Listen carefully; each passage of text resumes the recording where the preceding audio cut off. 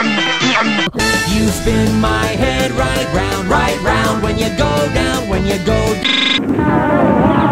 64 and win. And you could win an Boxster.